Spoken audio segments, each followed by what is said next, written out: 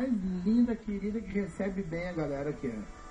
Mas há poucos dias atrás, ventos de mais de 120 km por hora derrubaram um monte de casas na cidade. Foi mais de 500 casas, ou destruídas, ou destelhadas, deixando um monte de gente desabrigada lá.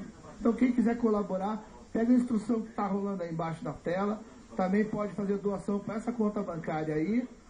Então, mas não adianta mandar papagaio, arara, porcos. Faz um assado lá, tá tudo certo. Mas assim, ó, beleza, colabora aí, SBT no Rio Grande do Sul dando uma força pra galera, falou?